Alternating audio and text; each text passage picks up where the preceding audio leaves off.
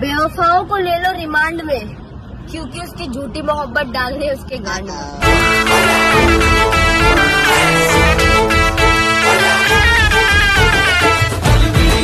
बेटे बेटे ओ बेटा मौज कर दी।